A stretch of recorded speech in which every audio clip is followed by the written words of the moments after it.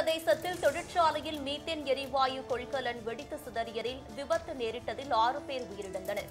பிஜ்னோரில் உள்ள தனியார் Pedro chemical தொழிற்சாலையில் மீத்தேன் எரிவாயு கொள்கலனில் ஏற்பட்ட குறைபாட்டை சரி செய்யும் பணி நடைபெற்றது.